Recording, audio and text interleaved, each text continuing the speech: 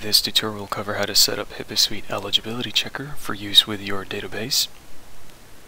First click on Database, and then again on Connection and Data Fields. This will open the database setup screen. Here we select what kind of database we are using.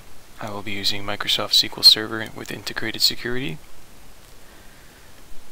Type in your database server name and the name of the database itself. Save the connection details and then test the connection. Here we can see a successful connection to the database. However, I am missing the eligibility and benefits requests and response tables.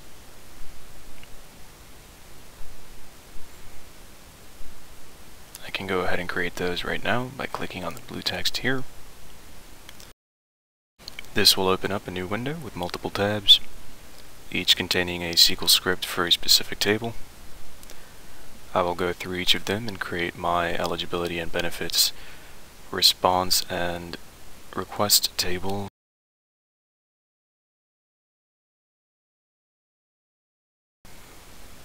as well as a pair of tables called stored receiver and stored patient which will be used to autofill the manual entry eligibility form. If you've already set up another HIPAA Suite application, you should already have the company setup table.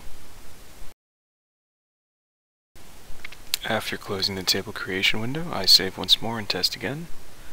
Not only do I have a successful connection to the database, but all my tables were verified.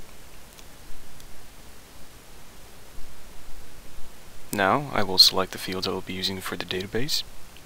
You don't need to use all of them, we recommend that you do. I am selecting all of the fields and testing the configuration. The tables have no missing fields and I have now configured the HIPAA Suite eligibility checker for use with a database.